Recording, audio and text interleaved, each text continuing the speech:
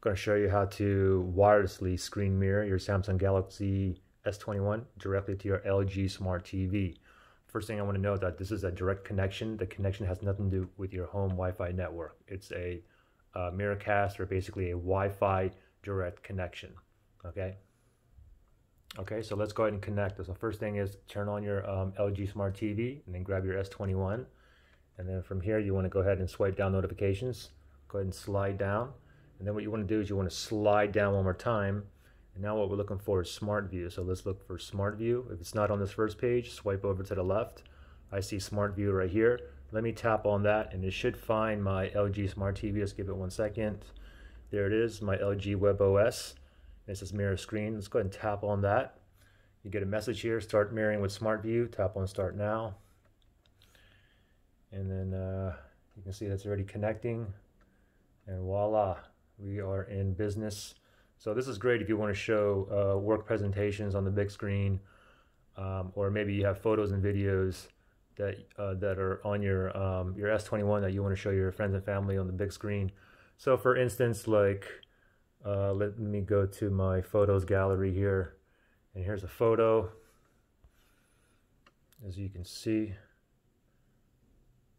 right here. Oops. Oh, let me tap that back on.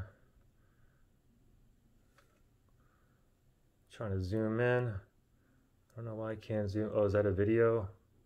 Okay, I think that was a video. But here's a photo here. And I'll show you a quick video. Yeah, that was a video. Let me play this video.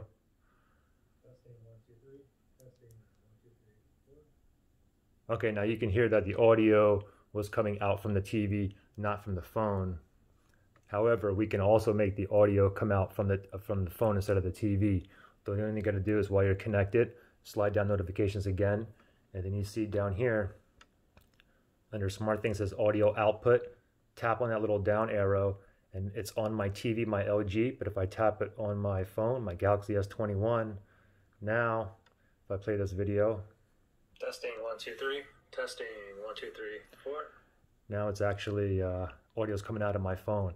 And if you wanted to disconnect, you have this little floaty thing here. You can tap on that and then you can disconnect from there. Also from here, you can change your phone's aspect ratio as well.